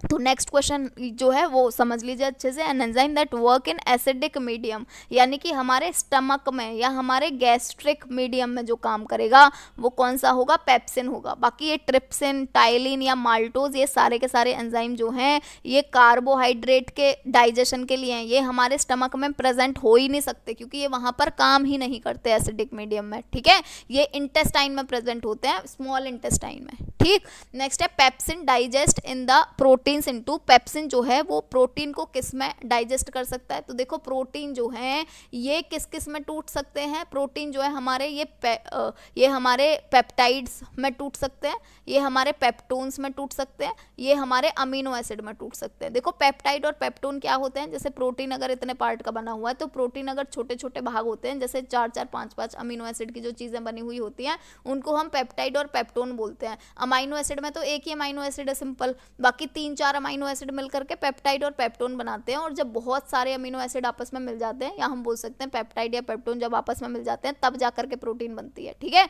तो प्रोटीन सबसे पहले पेप्टाइड और पेप्टोन में तोड़ता है, फिर पेप्टाइड और पेप्टोन जो है वो अमीनो एसिड में टूट जाते हैं। इसी को तो हम डाइजेशन बोलते हैं प्रोटीन का, ठीक है? तो प्रोटीन का डाइजेशन इन सारी की सारी चीज़ों में होगा तो यहाँ पर बेसिकली हमारा करेक्ट आंसर जो है वो डी हो जाएगा, यानी कि पेप्टाइड और अमीनो एसिड और यहाँ पे प्रोटियोसिस ठीक है? तो ये सारी की सारी चीज़ें करेक्ट हो जाएँगी तो डी ऑप्शन जो है वो हमारा यहाँ पे करेक्ट हो जाएगा। नेक्स्ट है one of the following enzyme is not involve in carbohydrate digestion carbohydrate के डाइजेशन में कौन सा एंजाइम इन्वॉल्व नहीं है? तो देखो टाइलिन जो है और अमाइलेज और लैक्टेज ये सारी की सारी चीज़ें हमारे कार्बोहाइड्रेट के मेटाबॉलिज्म में इन्वॉल्व है। ट्रिप्सिन को छोड़ करके, ठीक है? तो बी ऑप्शन हमारा यहाँ पे हो जाएगा।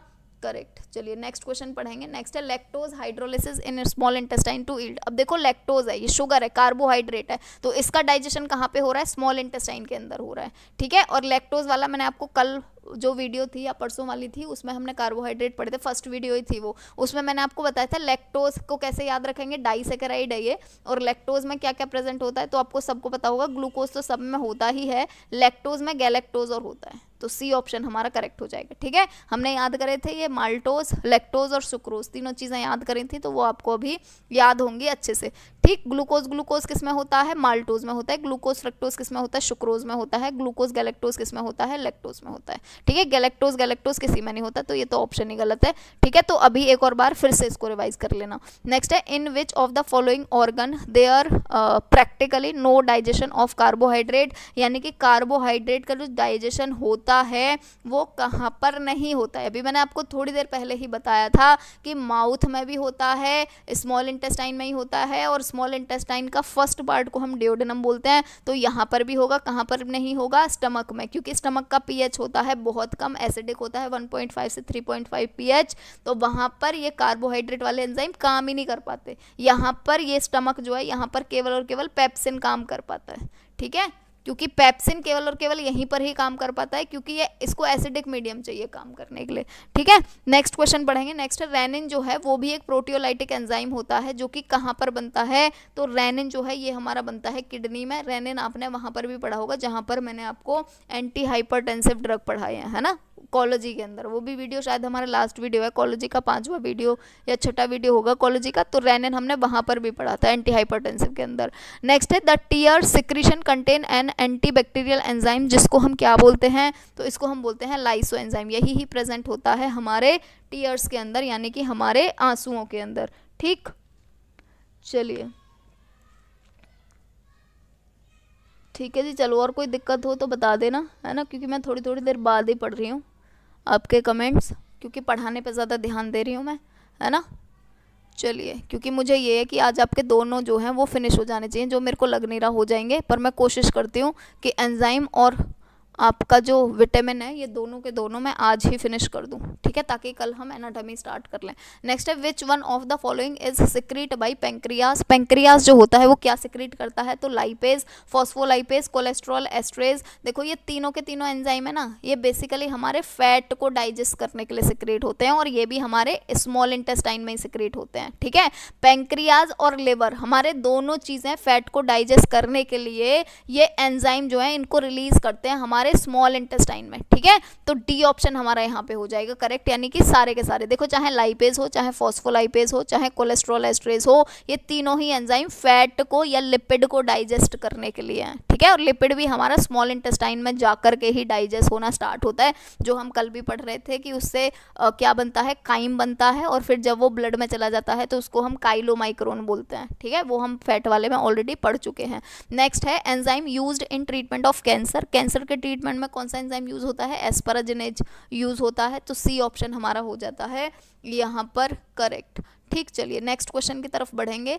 तो नेक्स्ट हमारा क्वेश्चन है which of the following enzyme is markedly increase in obstructive liver disease obstructive liver disease में कौन सा एंजाइम जो है वो बढ़ जाता है? ठीक है? तो कौन सा वाला एंजाइम बढ़ जाता है? एल्कलाइन फॉस्फेटेज तो ये हमारा ए ऑप्शन करेक्ट हो जाएगा। Which of the following enzyme level are monitored for alcohol abuse in chronic alcoholics जैसे जो क्रोनिक एल्कोहलिक्स का मतलब क्या हो गया? जो बहुत टाइम से एल्कोहल कंज्यूम कर रहे हैं, जो बहुत टाइम से शराब पी रहे हैं बेसिकली है ना? तो उनका जब लिवर खराब होने लगता है तो उस केस में हमें कौन से वाले एंजाइम को हमेशा मॉनिटर करना पड़ेगा कि कितना है, कितना नहीं है। तो वो होता है हमारा गामा ग्लूटामिल ट्रांसफरेज तो बी ऑप्शन हो जाएगा हमारा यहाँ पर करेक्ट ठीक, चलिए नेक्स्ट स्लाइड की तरफ़ बढ़ते हैं। ओके तो नेक्स्ट अगर देखो आपको ये वाले एमसीक्यूज जो मैं पढ़ाती हूँ, ये वाले एमसीक्यूज और प्लस हमारे मैराथन क्लास स्टार्ट हो रही हैं पंद्रह से, है ना? और मैं मोस्ट प्रोबेबली पंद्रह से पहले ही शुरू कर दूँगी, ठीक है? तो ये वाले दोनों अगर हमारे एम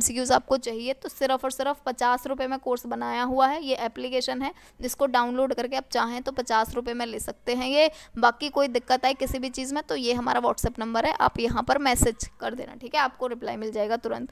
ठीक तो चलिए नेक्स्ट बढ़ते हैं, और नेक्स्ट अगर हम बात करें तो नेक्स्ट हमारा जो क्वेश्चन है अच्छा विटामिन जो है हमारा ये स्टार्ट हो जाता है नेक्स्ट क्वेश्चन ठीक? तो चलिए, अभी हम पढ़ेंगे थोड़ा सा विटामिन के बारे में. ठीक? अब देखो विटामिन जो है ना, इसकी आपको एक चीज़ याद रख लेनी है, क्योंकि पूछी जा सकती है कि विटामिन जो है, वो जो नाम है, ये किसने दिया है? तो विटामिन नाम दिया है हमारा फुंक ने। वैसे इनका और भी नाम होता है, पर आप केवल और केवल फुंक याद रखेंगे तो काम हो जाएगा। F U N K vitamin नाम किसने दिया है? फुंक ने दिया है। वैसे काजी मर्ज फुंक बोलते हैं इनको, पर सिर्फ़ फुंक याद रख लो, ठीक है? अब अगर हम विटामिन की बात करें तो विटामिन जो होता है, होते हैं, ये टोटल तेरह विटामिन होते हैं। चलो मैं आपको वैसे बताती हूँ विटामिन जो होते हैं, ये हमारे दो तरीके के होते हैं। एक को हम बोलते हैं वाटर सोलेबल विटामिन ठीक है?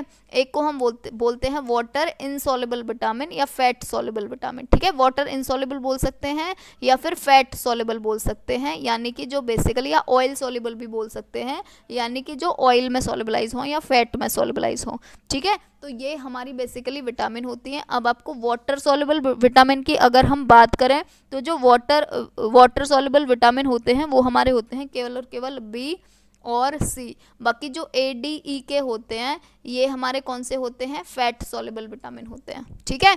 अब देखो यहाँ पर क्या है? सी तो हमारा यहीं पर ही ठीक है, इसी तरीके से एक ही होता है, लेकिन जो बी होता है ना, ये हमारा आठ तरीके का होता है। आपको याद रखना है कौन कौन से होते हैं आठ तरीके? तो B one B two B three ठीक है? बी थ्री के बाद में अगर हम बात करें तो बी थ्री के बाद में बी फोर होता ही नहीं है बी फाइव होता है, उसके बाद में बी सिक्स बहुत ज़्यादा इंपॉर्टेंट होता है, फिर बी सेवन आ गया, इसके बाद में एट नहीं याद रखना है नाइन आ गया, और नाइन के बाद में सीधा आएगा ट्वेल्व ठीक है? ये इतने विटामिन होते हैं, इन सब के नाम याद रखना ना बहुत ज़्यादा ज़रूरी है, क्योंकि इन सब के नाम पूछ लिए जाते हैं आपको, ठीक है? अगर मैं नाम की बात करूँ तो देखो, मैंने तो ये जिस तरीके से याद करे थे, अगर मैं अपनी बात बताऊँ तो मैंने तो इस तरीके से याद करे थे, क्योंकि मैं ये ऐसे वाले टर्म है ना, मेरे को बड़ी जल्दी याद हो जाते तो मैंने याद करे थे T R P P B F C ठीक है? T R P P B F C इतना याद करेंगे, आसानी से याद हो जाएँगे। अब आप बोलोगे, मैम, ये तो सात है। One, two, three, four, five, six, seven, जबकि ये तो हमारे आठ हैं, है ना? अगर इनको गिनेंगे तो एक, दो, तीन, चार, पाँच, छः, सात, आठ। ये तो आठ हैं तो एक कहाँ गायब हो गया इसमें से, ठीक है? तो बी थ्री जो है ना, ये आपको निकोटिनिक एसिड बोलते हैं, या तो इसको, है ना? और या इसको नियासिन तो इसको अलग से याद कर लो कि इसको हम क्या बोलते हैं? निकोटिनिक एसिड या नियासिन। इसके दोनों नाम होते हैं बी थ्री के। बाकी आप T R P P B F C इससे याद कर सकते हैं आसानी से, कोई दिक्कत नहीं है। पहला हमारा टी से स्टार्ट होगा तो क्या होगा? टी से थायमीन हो जाएगा। इनके नाम याद रखने, क्योंकि बहुत पूछे जाते हैं। इसीलिए मैं आपको इतने अच्छे समझा रही हूँ। बी टू का नाम क्या है? आर से है राइबोफ्लेविन ठीक है?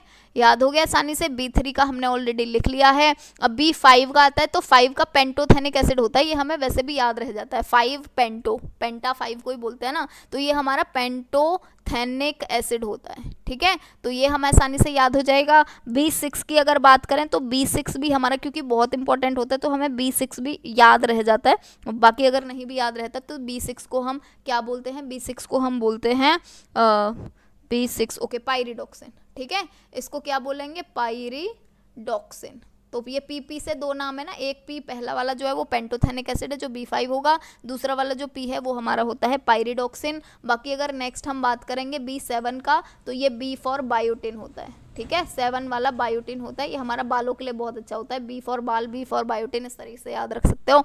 बी नाइन और बी ट्वेल्व ये तो बहुत अच्छे से सबको याद होते हैं। बी नाइन फॉलिक एसिड होता है और बी ट्वेल्व जो होता है, ये होता है साइनो कोबेलेमिन ठीक है?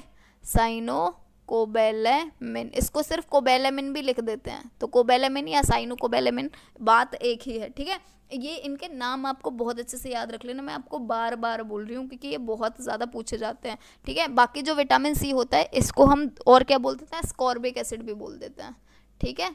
एस्कॉर्बिक एसिड ठीक? बाकी ये ए डी ई के जो हैं, इनके नाम तो आपको याद रखने ही हैं, ठीक है? बाकी अगर हम बात करें डिसीज़ की कि किस वाली विटामिन से कौन सी वाली डिसीज़ होती है, क्योंकि ये भी बहुत इंपॉर्टेंट है। तो देखो, अगर हम विटामिन ए की बात करें, मैं यहाँ पे लिख रही हूँ विटामिन ए की अगर हम बात करें तो विटामिन ए से होता है हमें नाइट ब्लाइंडनेस ठीक है? नाइट ब्लाइंडनेस या फिर ये समझ लो एक ज़ीरो थेलमिया करके भी बीमारी होती है, वो भी हमारी आँखों की ही होती है। एक कंजक्टिवाइटिस जो हमारी कंजक्टिवा होती है, आँख की, वहाँ पर इन्फ्लामेशन हो जाता है, सूजन हो जाती है। तो यानी कि ये समझ लेना, आँखों वाली कोई भी बीमारी होगी ना, वो विटामिन ए की वजह से ही होगी, चाहे वो नाइट ब्लाइंडनेस हो, चाहे वो ज़ीरो थेलमिया हो, चाहे फिर वो कंजक्टिवाइटिस हो, ठीक है? सारी की सारी आँखों वाली बीमारी ऐसे ही होंगी। अब हम शिफ्ट हो जाते हैं बी पे तो देखो बी वन जो है हमारा थाइमीन यहीं पे लिख देती हूँ। बी वन जो थाइमीन है, इसकी वजह से होता है बेरी बेरी आपने सुना होगा विटामिन बी की वजह से बेरी बेरी रोग हो जाता है। पर वो बचपन में हम विटामिन बी पढ़ते थे, वो एक्चुअल में विटामिन बी वन ही होता है। ठीक है? विटामिन बी टू की अगर बात करें हम तो बी टू की वजह से ना इतना ज़्यादा कोई इंपॉर्टेंट नहीं होती तो ये आप नहीं भी याद रखोगे तो भी चल जाएगा। वैसे इसकी वजह से रेड हो जाती है टंग। ठीक है? इतना, और ये आएगा भी नहीं, क्योंकि ये इतना इंपॉर्टेंट भी नहीं होता। जो हमारा बी थ्री वाला होता है, ये बहुत इंपॉर्टेंट होता है। पैलग्रा जो बीमारी होती है, वो बी थ्री की वजह से हो जाती है। बी फ़र्स्ट याद रखेगा बहुत अच्छे से। बेरी बेरी बी थ्री याद रखना है, पैलग्रा हो जाती है। बी फाइव जो है, वो भी इतना इंपॉर्टेंट नहीं होता। पेंटोथेनिक एसिड जो होता है, पर यह रूमेटोइड अरेथराइटिस जो होता है, उस, वो बीमारी हो जाती है। इसकी कमी की वजह से। रूमेटोइड अरेथराइटिस यानी कि जो बेसिकली हमारे जोड़े हो, जोड़ होते हैं ना घुटना हो गया, कोनी हो गई या फिर हमारे मतलब बेसिकली जितने भी जोड़ होते हैं, वहाँ पर दर्द हो जाता है। उसको हम रूमेटोइड एरिथ्राइटिस बोलते हैं। ठीक है? अगर हम बी सिक्स की बात करें, जो बी सिक्स होता है पायरिडॉक्सिन तो ये भी इतना ज़्यादा इंपॉर्टेंट है, मत याद रखना। बायोटिन की वजह से मैं बोल रही थी कि बाल जो हैं, उनके लिए बहुत ज़रूरी होता है तो बाल गिरने लगते हैं अगर बायोटिन ना हो तो। तो इसका भी ऐसे याद रखो, बस बायोटिन बाल।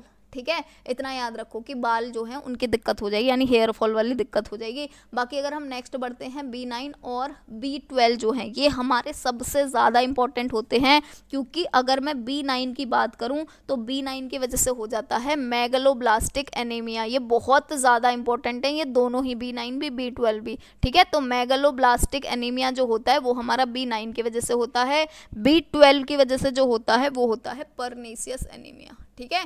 तो इन दोनों का मत भूलिएगा, बिल्कुल भी किसी भी कीमत पर, क्योंकि ये बहुत ज़्यादा इंपॉर्टेंट है, ये दोनों ही पूछे जा सकते हैं, है ना? B nine megaloblastic anemia B twelve pernicious anemia ठीक है? इतनी चीज़ हम याद रखेंगे, बाकी विटामिन सी की वजह से आप लोगों को ऑलरेडी पता होगा स्कर्वी हो जाता है है ना? यहाँ पर ये जो विटामिन सी है, इसकी वजह से क्या हो जाता है? स्कर्वी हो जाता है, ये भी हम बचपन से ही पढ़ते हुए आ रहे हैं तो ये भी आपको पता ही होगा। अगर हम विटामिन डी की बात करें तो आप लोगों को पता होगा ए वाला तो हमने यहाँ पढ़ लिया ऑलरेडी नाइट ब्लाइंडनेस ठीक है? डी की अगर हम बात करें तो आपको पता होगा विटामिन डी बहुत ज़्यादा ज़रूरी होता है कैल्शियम को बोन्स में एब्जॉर्ब कराने के लिए। तो डी की वजह से हमेशा हमें बोन वाली डिसीज़ होंगी, यानी हड्डियों वाली डिसीज़ होंगी तो रिकेटिस जो हड्डियों वाला रोग होता है, वो हो जाता जाता है विटामिन डी की वजह से। ई की अगर हम बात करें तो ई की वजह से हमें हो जाता है इनफर्टिलिटी ठीक है? इनफर्टिलिटी और अगर हम लास्ट बात करें विटामिन के की तो विटामिन के जो होता है, ये हमारा ब्लड क्लॉटिंग मैकेनिज्म जो होता है, उसमें काम आता है। ये मैंने आपको ऑलरेडी समझाया हुआ है कॉलोजी वाली वीडियो में कि ब्लड क्लॉटिंग में विटामिन के का क्या रोल होता है है ना? जहाँ पर हम वारफरिन हिपेरिन पढ़ रहे थे, मैंने आपको वहाँ भी समझाया था, है ना? तो कि हिपेरिन और वारफरिन दोनों ही विटामिन के का फ़ंक्शन जो है, उसको इनहिबिट कर देते हैं। तो विटामिन के जो होता है, ये ब्लड क्लॉटिंग करता है शरीर में, है ना? तो अगर विटामिन के नहीं हुआ तो सोचो हमें क्या हो सकता है? मतलब हीमोफीलिया हो सकता है ठीक है? हीमोफीलिया क्या होता है कि अगर कट लग जाए तो खून बहता ही रहेगा वो बंद नहीं होगा। विटामिन के जो होता है बेसिकली इसी की वजह से ही हमारा क्लोटिंग वगैरह और ये सारी की सारी चीज़ें होती हैं और ब्लड जो है वो आ, मतलब बहना बंद होता है हमारी चोट से ठीक है? तो विटामिन के की कमी से क्या हो जाएगा? हीमोफीलिया। हीमोफीलिया मैंने आपको बताई दिया कि कहीं कट लग गया चोट लग गई तो खून रुकेगा नहीं बहता ही रहेगा बहता ही रहेगा। तो ये हो जाता है विटामिन के की कमी की वजह से। सारी की सारी चीज़ें मैंने आपको यहीं समझा दी हैं विटामिन की, मैं कोशिश करूँगी, पूरी वैसे सत्तावन हो रहे हैं, पर मैं कोशिश करूँगी दस मिनट में अगर ये पूरा का पूरा फिनिश हो जाता है तो वरना तो हम एनाटोमी कल स्टार्ट कर लेंगे, उसको पढ़ने से पहले जितना भी ये बच जाएगा, उसको जल्दी जल्दी कर लूँगी फिनिश उसके बाद एनाटोमी कल ही स्टार्ट करूँगी, चाहे कुछ भी हो, ठीक है? दस मिनट में मैं आपको जल्दी जल्दी जितना हो सकता है, उतना समझाने की कोशिश करूँगी, ठीक है? सारी चीज़ें, क्योंकि मैंने आपको यहीं एक पेज में ही समझा दी हैं, अब बस क्वेश्चन जो है उनके बेसिकली आंसर लगाने हैं, ठीक है?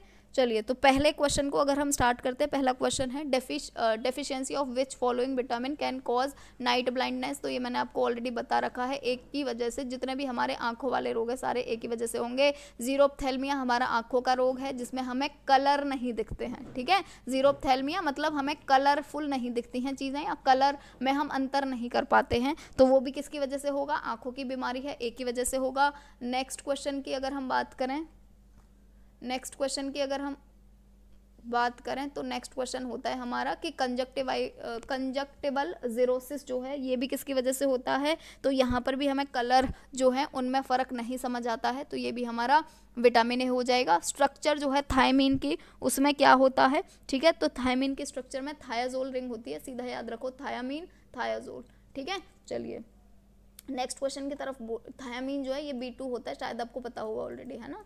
टीआरपी करके याद करवाया था। नेक्स्ट है which one of these vitamin is part of co enzyme इनमें से कौन सी वाली विटामिन जो होती है को एंजाइम का पार्ट होती है तो जो हमारी थायमीन होती है, ठीक है सॉरी थायमीन हमारी बी वन ही होती है है ना? तो जो हमारी थायमीन होती है, यही ही को एंजाइम का पार्ट होती है। तो सी ऑप्शन जो है वो करेक्ट हो जाएगा। नेक्स्ट है लेक्टोफ्लेविन जो होता है, ये क्या होता है? तो विटामिन बी टू होता है, उसको हम लेक्टोफ्लेविन भी बोलते हैं। देखो, मैंने किस तरीके से याद करवाया था? टी आर पी करके याद करवाया था। टी आर पी पी है ना? स्टार्टिंग के यही थे। इसमें आप तीसरे नंबर पे नियासिन और निकोटिनिक एसिड और ऐड कर लो, जो बी होती है। ठीक है? तो टी जो है थाइमिन जो है, ये कौन सी है? हमारी बी विटामिन है। ठीक है? बाकी जो बी है, वो कौन सी होती है? राइबोफ्लेविन होती है। तो राइबोफ्लेविन को हम और क्या बोल देते हैं? लेक्टोफ्लेविन भी बोल देते हैं। ठीक है? तो यहाँ लेक्टोफ्लेविन या राइबो फ्लेविन कुछ भी हो सकता है, ये चीज़ याद रखेगा मतलब ये फ्लेविन फ्लेविन है ना, इस तरीके से भी आप थोड़ा सा अपना दिमाग का लॉजिक लगाइएगा, ठीक है? तो बी टू जो होती है, वो हमारी लेक्टोफ्लेविन या राइबोफ्लेविन दोनों नामों से जानी जाती है, दोनों नाम इसके करेक्ट है। नेक्स्ट क्वेश्चन की तरफ़ बढ़ेंगे। पैलग्रा जो है, वो किस चीज़ की वजह से होता है? तो पैलग्रा मैंने आपको कितनी अच्छी तरीके से समझाया था कि विटामिन बी थ्री की वजह से पैलग्रा होता है और विटामिन बी थ्री को हम क्या बोलते हैं? नियासिन बोलते हैं।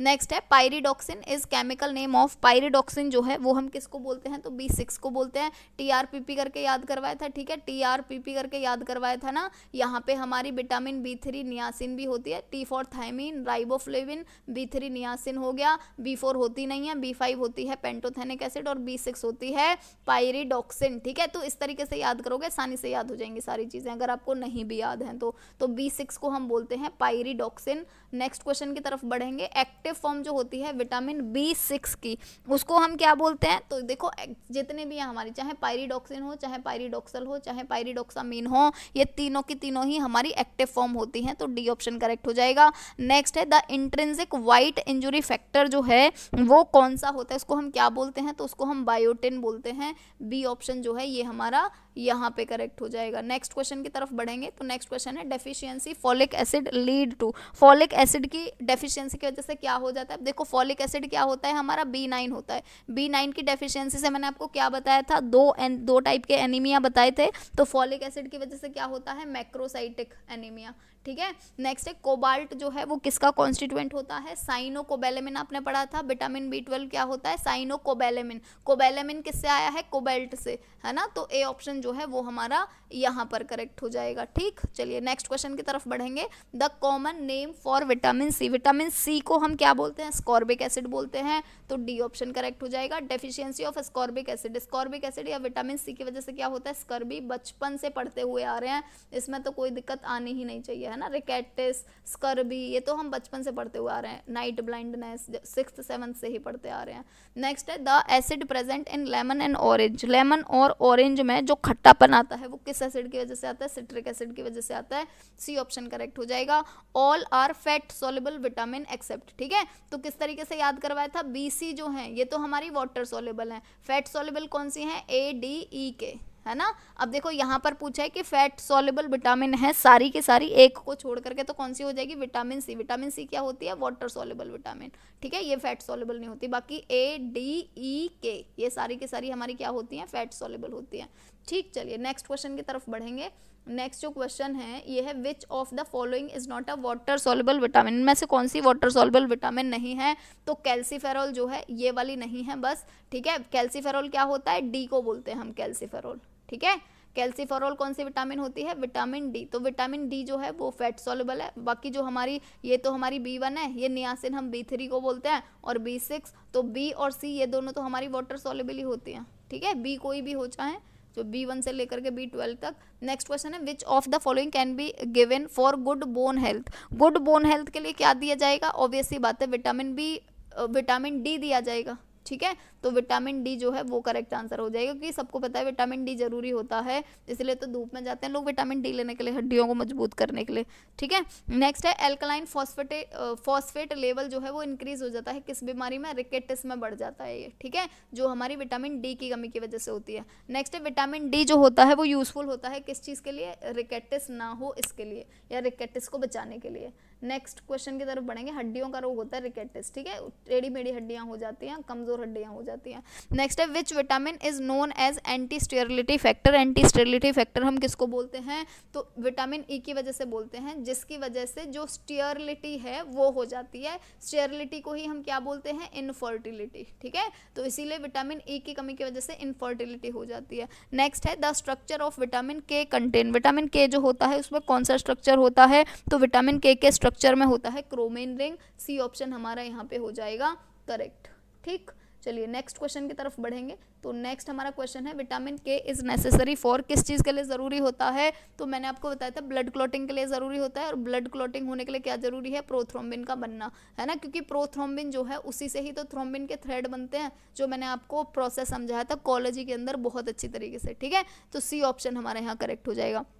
विटामिन के की डेफिशिएंसी की वजह से क्या हो जाएगा? तो हीमोफीलिया हो जाता है। हीमोफीलिया मतलब ब्लड जो है, वो बहता जाएगा बहता जाएगा, रुकेगा नहीं, ठीक है? हेमरेज क्या होता है? हेमरेज होता है यही कि ब्लड जो है, वो बह रहा है, बह रहा है, बह रहा है, रुक ही नहीं रहा। रक्तस्राव या फिर हेमरेज ठीक है? यानी कि ब्लड जो है, वो बह रहा बह रहा है, रुक ही नहीं रहा। तो हेमरेज या हीमोफीलिया एक ही चीज़ है। नेक्स्ट है the conversion of beta carotene to vitamin A is carried out in देखो विटामिन ए जो होता है ना, ये बेसिकली बीटा कैरोटीन रिंग से बनता है। बीटा कैरोटीन रिंग जो होती है ना, ये ऐसे करके एक बेंजिन रिंग इधर होती है, एक बेंजिन रिंग उधर होती है और यहाँ पे बहुत सारी ऐसे करके चेन होती है, बहुत लंबी। वो चेन आपस में से टूट जाती है और एक बीटा क्रोमिन रिंग से दो विटामिन ए बन जाते हैं। एक विटामिन ए इधर, एक विटामिन ए इधर, ठीक है? तो जो बीटा कैरोटीन से विटामिन ए का बनना होता है, ये होता कहाँ पर है? लिवर के अंदर होता है। है ए ऑप्शन करेक्ट हो जाएगा। ईस्ट जो होता है, वो रिच सोर्स होता है, किसका? विटामिन बी का। तो बी ऑप्शन हमारा यहाँ पे करेक्ट हो जाएगा। ठीक? चलिए नेक्स्ट क्वेश्चन की तरफ़ बढ़ेंगे तो नेक्स्ट क्वेश्चन है F and F M N जो हैं, वो को एंजाइम फॉर्म होती हैं, किसकी? ये होती हैं, देखो, दोनों राइबोफ्लेविन की। तो ये चीज़ याद रखिएगा एफ़ और एफ़ एम एन ये दोनों की दोनों किसकी होती हैं? जब भी एफ़ से स्टार्ट हो, ये याद रखिएगा एफ़ से जो स्टार्ट हो रहा है, वो राइबोफ्लेविन की होती हैं। और नेक्स्ट चीज़ अगर हम देखें, जो एन से स्टार्ट होता है, यानी एन ए डी वो किसकी होती है? नियासिन की। नियासिन कौन सी बीमारी, कौन सी विटामिन होती है? विटामिन बी थ्री ठीक है? और जो हमारी राइबोफ्लेविन होती है, ये कौन सी होती है? बी टू तो इस तरीके से याद रखिएगा बी टू वाली जो है, यानी जो राइबोफ्लेविन है, वो एफ़ वाले दो चीज़ बनेंगे इससे यानी एफएडी और एफएमएन जबकि जो विटामिन बी थ्री है, यानी कि जो नियासिन है, उसकी वजह से एन वाला बनेगा, यानी कि एन ए डी ठीक है? इतनी चीज़ याद रखेंगे। वैसे मुझे लग रही है थोड़ा डिटेल में चला जाता तो शायद ना आए, पर फिर भी याद रखना अब हो सकता है कि आ ही जाए। नेक्स्ट देखेंगे विटामिन बी सिक्स जो होता है, वो किस चीज़ के लिए रिक्वायरमेंट होती है इसकी? तो देखो बी सिक्स जो है ना, इससे ही बनता है गाबा, यानी कि गामा अमीनो ब्यूटायरिक एसिड तो बी ऑप्शन हमारा करेक्ट हो जाएगा। नेक्स्ट है परनीसियस एनीमिया जो है ये किसकी वजह से होता है? तो जो परनीसियस एनीमिया होता है, वो बेसिकली होता है गैस्ट्रिक जूस की वजह से, ठीक है? जो इंट्रेंसिक फैक्टर होता है गैस्ट्रिक जूस में, वो नहीं होता है उसकी वजह से, ठीक है? बेसिकली जो हमारा बी ट्वेल्व होता है ना बी ट्वेल्व इसी को ही हम इंट्रेंसिक फैक्टर बोलते हैं। ठीक है? तो absent of intrinsic factor in of gastric juice यानी कि जो बी ट्वेल्व है, वो हमारे गैस्ट्रिक जूस में जब एबसेंट होता है, उसकी वजह से परनीसियस एनीमिया हो जाता है। जो मैं आपको पीछे भी बता रही थी कि बी ट्वेल्व की वजह से परनीसियस एनीमिया हो जाता है और बी ट्वेल्व को ही हम इंट्रेंसिक फैक्टर बोलते हैं, जो हमारे गैस्ट्रिक जूस के अंदर होता है। ठीक है? चलिए गैस्ट्रिक म्यूकोसा से रिलीज़ होता है। ये बेसिकली नेक्स्ट है डेफिशिएंसी जो होती है फॉलिक एसिड उसकी वजह से क्या हो जाता है? तो फॉलिक एसिड क्या होता है? बी नाइन बी नाइन की वजह से क्या हो जाता है? मैक्रोसाइटिक एनीमिया हो जाता है। तो सी ऑप्शन जो है, वो हमारा हो जाएगा यहाँ पे करेक्ट और जैसा मैं सोच रही थी कि मैं फिनिश करा दूँगी जल्दी से, पूरा का पूरा, और हमारा जो पूरा पोर्शन है, वो फिनिश हो गया है विटामिन वाला भी, ठीक है? तो बायोकेमिस्ट्री का मेरे को जितना पढ़ाना था, उतना मैं पढ़ा चुकी हूँ।